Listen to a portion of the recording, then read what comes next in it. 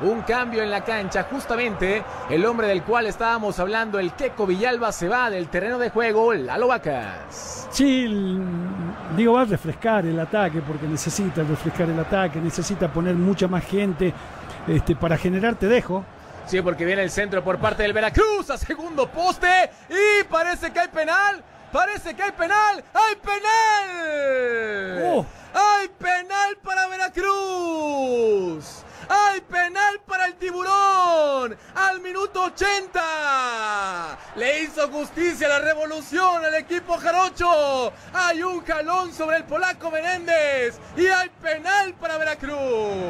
Las manos extendidas de Miguel Herrera, ¿no? En esa jugada va, compite con el polaco. Digo, arriba, toca el balón. Es mano, Claro entonces. que es mano, claro que es mano. Es mano. Es ahí una está. mano. Y, y justamente ah, no habíamos mencionado que el Quequito Villalba le dejó el lugar al polaco, polaco Menéndez, Menéndez. ¿no? Quien es el que ocasiona, a final de cuentas, este penal. Es mano clarísima. No, no habría por qué revertirla, porque eh, si bien es que no llevaba la intención de meter la mano, cuando quiere cabecear levanta las dos manos y eso no está permitido. No es un movimiento natural. Brian Carrasco está parado. Detrás de la pelota, enfrente de él, William Yarbrough, 82 minutos. Oscar Mejía, el árbitro, va a silbar. Carrasco tiene la oportunidad. El penal anterior lo falló en contra de Toluca. Acá viene Carrasco.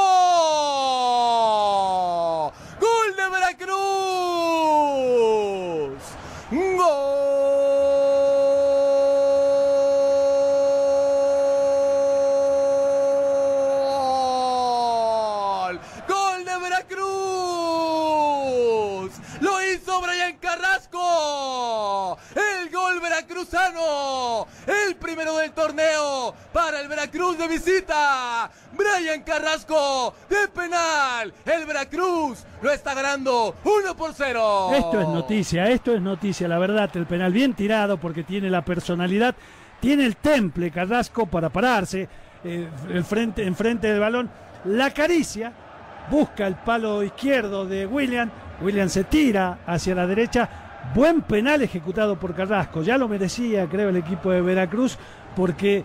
Digo, había sido injusto eh, el trámite del partido en la jugada de Keco Villalba, eh, en los goles anulados, a pesar de que, de que fueron fuera de lugar, pero bueno, el fútbol es así, a veces premia eh, deportivamente al equipo que lo busca y creo que Veracruz lo estaba buscando. Si en este momento apuestas tus 400 pesos, cobrarías 1280. Caliente.mx, más acción, más diversión. Dime algo, Lalo, dime algo. Este resultado rompe quiniela, ¿no? Sí, sin duda alguna. Te lo dije, Iván. Te lo dije que hoy Veracruz iba a ganar. Y estoy cumpliendo. Pero atención porque viene el centro.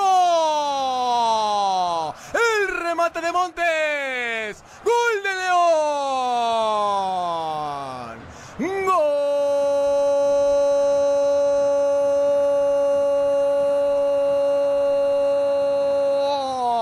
Gol de la fiera. Acabó con la ilusión. Acabó con la esperanza veracruzana. Llegó a rematar. Al segundo poste Montes. Pone el empate. Uno por uno. Pero qué bien aparece Monte por el costado izquierdo, una pelota que viene elevada, se queda Lampro, se queda Jurado, estaba lejos de Jurados también.